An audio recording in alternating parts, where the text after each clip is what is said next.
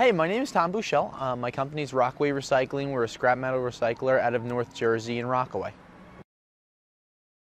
Well, I used to do small postcard campaigns to two, three hundred customers till we start to, until we started to grow up my business. Once we got so big, I wanted to have one solid company that would be able to produce a high quality product for all of my customers.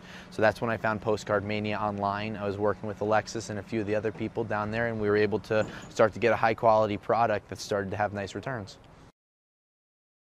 We do retract the results. Um, every we put a special coupon on all of the uh, postcards that we send out. Once we get them back, my guys put them in file. And then we also track the ones that were returned, so we know, you know, what's becoming successful and when customers are bringing them in.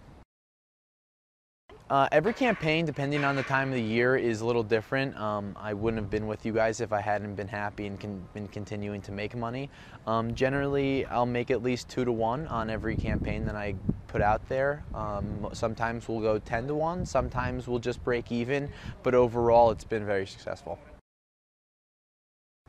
It's been very easy. Uh, every time that I set up a postcard, if something's wrong, they'll shoot me and my art department back, or they'll say this is perfect, and they'll walk me through every single step from, you know, initially setting the order up to even doing the mailers and printing things afterwards if I need to get them changed. I've been very happy. I've been with Postcard Mania for three years now, and I don't plan on going anywhere else. I mean, just you have to do good business. I mean, the way that we've been in business for over 35 years is by just being upfront and straight with people. When we're able to tell them prices and materials that we buy and help them make more money, as long as everyone knows that each company is here to make money, as long as as well as each individual, as long as you just go out there and you put your name on the line and you back up your product, you know, that's how we've been along, uh, around for so long.